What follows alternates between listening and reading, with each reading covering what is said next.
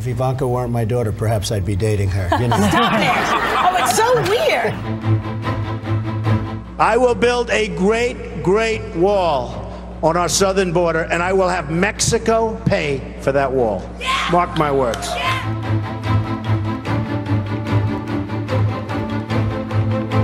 When Mexico sends its people, they're not sending their best. They're bringing drugs, they're bringing crime, they're rapists, and some, I assume, are good people. Could say politically correct that the look doesn't matter, but the look obviously matters. Like you wouldn't have your job if you weren't beautiful.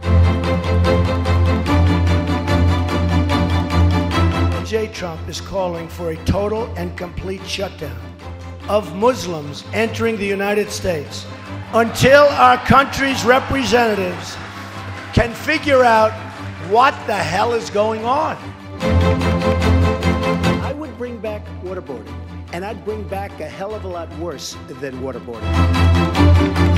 What I won't do is take in 200,000 Syrians who could be ISIS.